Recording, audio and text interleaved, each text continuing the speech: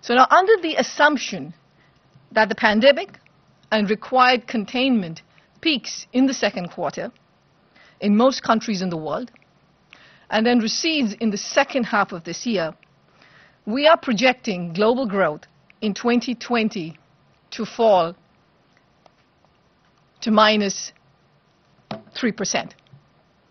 Now, this is a downgrade of 6.3 percentage points from January 2020, a major revision over a very short period of time.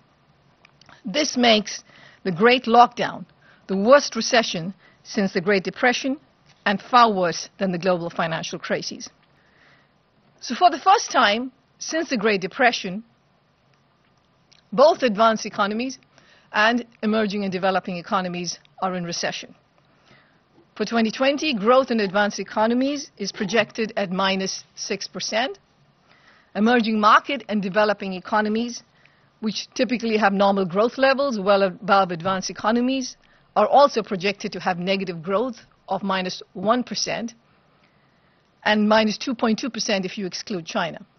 Collaborative effort is needed to ensure that the world does not deglobalize, so that the recovery is not damaged by further losses to productivity.